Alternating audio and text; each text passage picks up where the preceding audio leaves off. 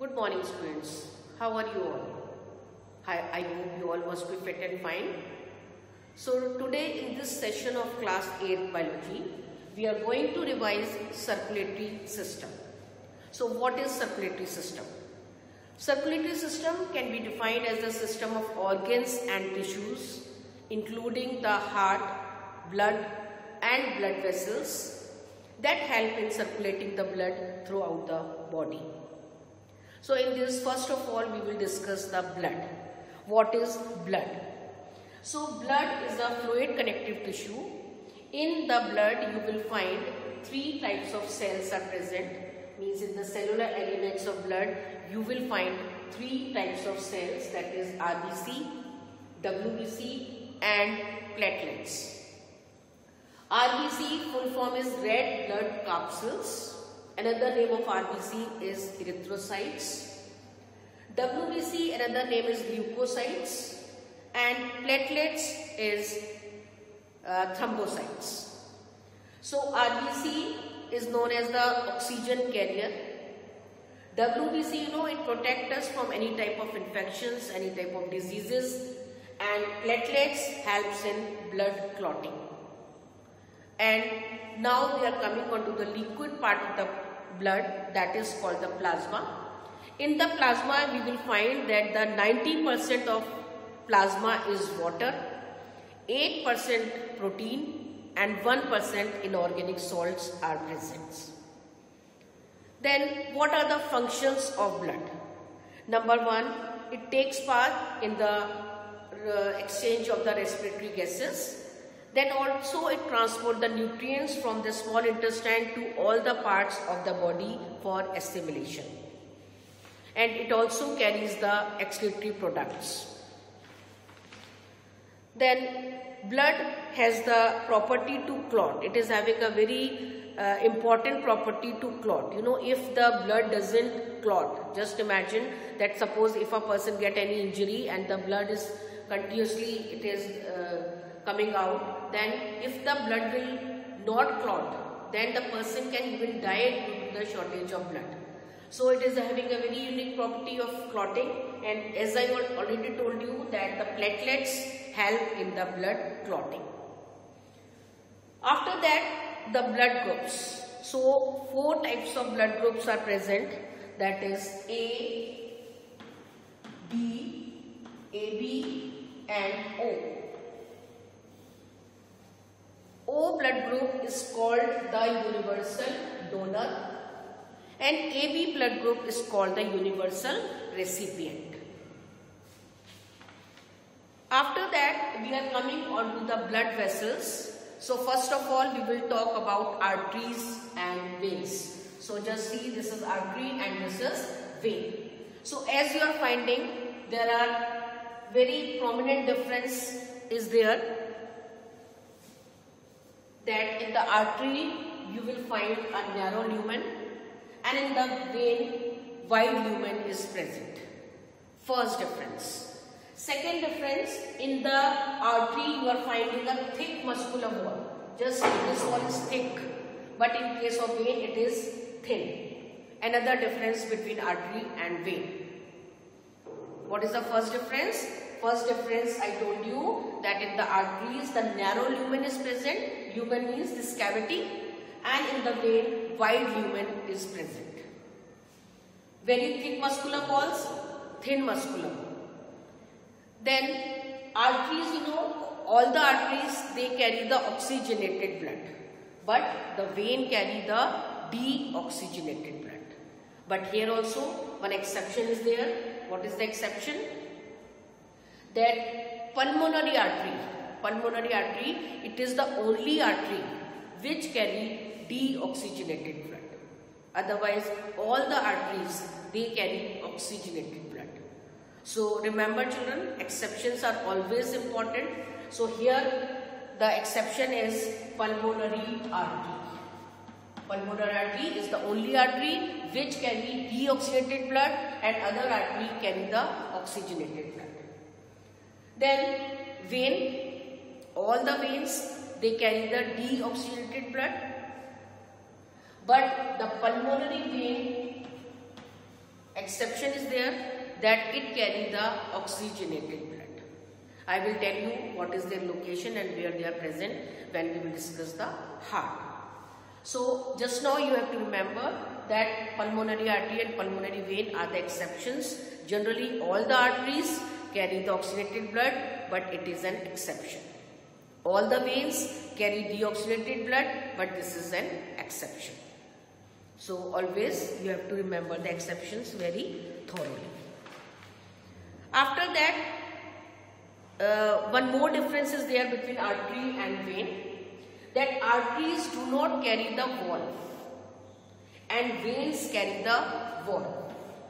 Now the question arises what are valves? Valves are present to stop the backflow of blood. So valves are not present in the arteries but it is present in the vein. Then another difference that always the arteries are very deep seated in the skin in our body but the veins are superficial. They can be seen but the arteries are deep seated in the body. Okay, so this we have discussed with the difference between arteries and veins then about the blood composition and four types of blood groups. Now we are coming on to heart. So,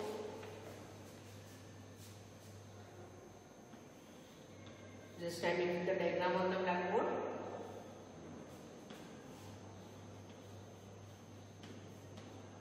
In the meantime, just revise. What are the walls of the heart called? Which fluid is present there? This all you revise.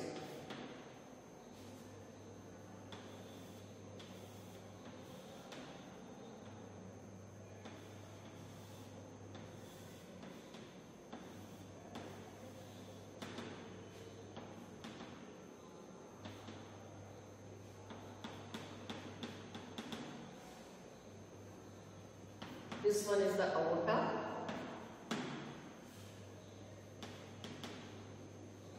Then pulmonary artery.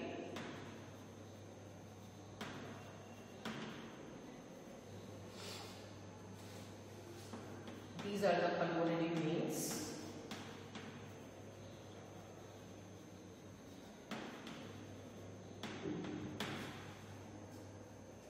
This is left auricle.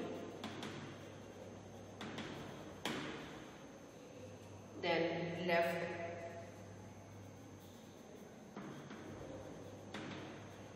this is left auricle this one upper one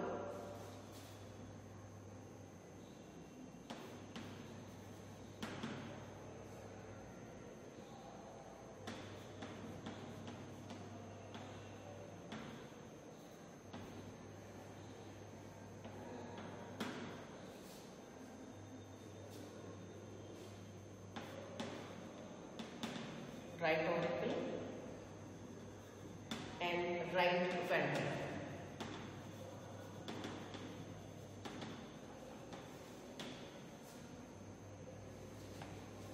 So children, if we see the heart, then the heart is divided into four chambers.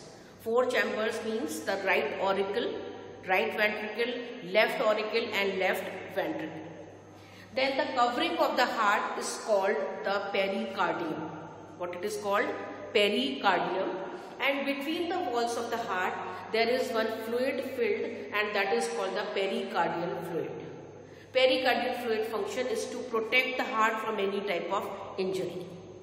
So as you are finding here, right auricle, right ventricle, similarly left auricle and left ventricle. So in the right side of the body, you know the I told you just now the pulmonary artery is the only artery which carry the deoxygenated blood. So from the right ventricle, the first of all the all the deoxygenated blood from our body through superior and inferior vena cava comes into right auricle. So right side of the heart carry the deoxygenated blood. Okay, then this from the deoxygenated blood from the right auricle comes into right ventricle. and then through pulmonary heart artery it goes into the lungs.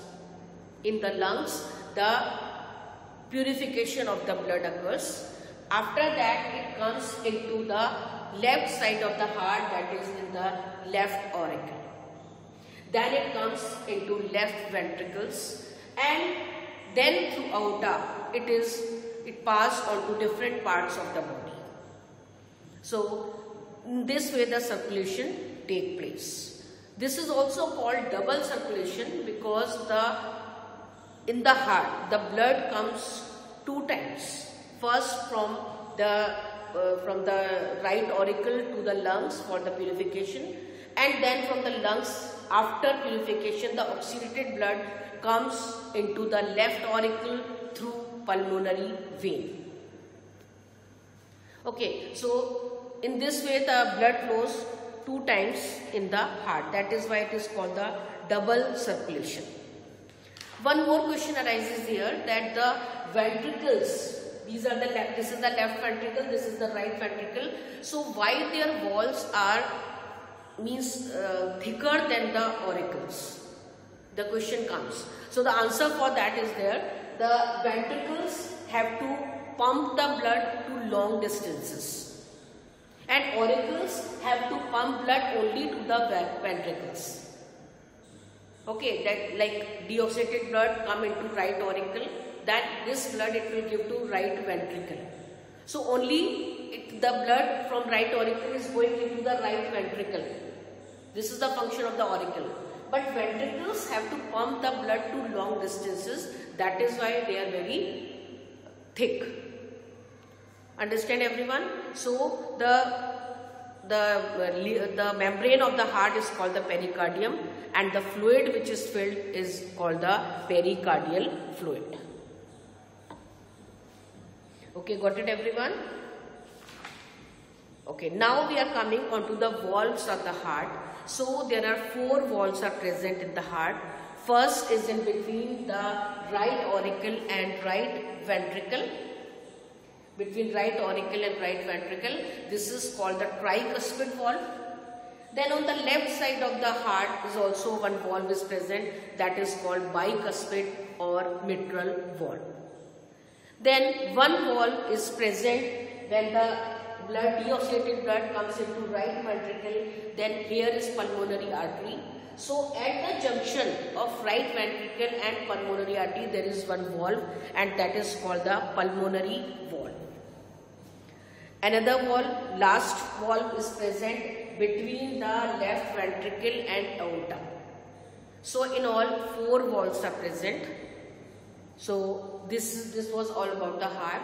So today you will revise this, you will just make the diagram of heart in your copies and see all the labelings and all the parts of the heart. Thank you children.